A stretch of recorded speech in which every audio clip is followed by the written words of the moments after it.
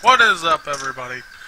My name is Sartorius Phoenix, as if you and not know, and this is just a test for PC games. Um, unfortunately, with the PC games equipment, the um, software I'm using will not allow me to have a webcam.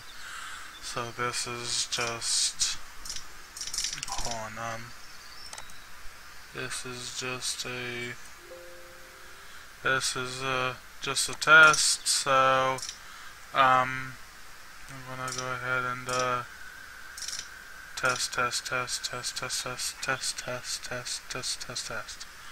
I'm gonna let it go here for a few minutes and test, test, testing the um, stuff so that I can uh, see just about how well it does for PC gaming. I mean, unfortunately, I won't have a uh, webcam, but I mean, the software I'm using will not fully replace my Hauppauge HD PVR2, but it will help me record PC games instead of recording. I mean, I'll do console too, but I mean, it'll be more PC game driven, and then a few console games here and there, and then, um, but yeah. I just thought I'd give this a little test of of its of how well the PC run it the software will do to play with the video game. So let's just um, see how well it'll do. Oh my god, you mean I gotta actually click play?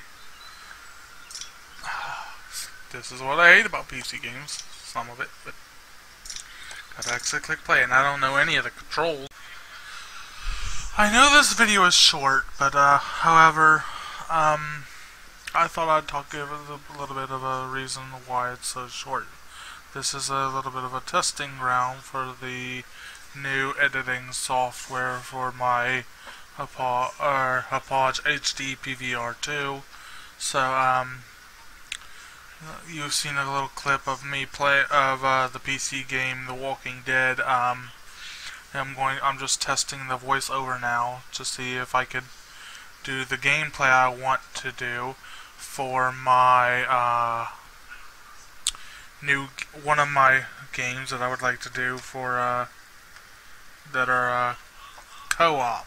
I'll, I'll, give a little bit of a hint there. Then the, one of the games I'm wanting to do is co-op, so I'm just doing the voiceover to see if it'll actually work. So, um, with that, We'll see you guys later.